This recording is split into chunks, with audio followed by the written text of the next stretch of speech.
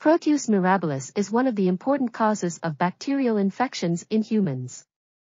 This study involved the prevalence of virulence genes among P. mirabilis strains isolated from various sources in Zakho City, Iraq, during the period of July 2021 through January 2022. Of the 400 cultured samples, 95, 23.75%, were found to be P. mirabilis. The antibiotic susceptibility of the isolates to various antibiotics varied widely, with the highest rate of 90.28% to ceftriaxone. The isolates were also resistant to many other antibiotics, with the highest rate of 88.42% to imipenem. However, the resistant proportion was slightly lower toward other antibiotics, ranging from 74.68% to 77.89%.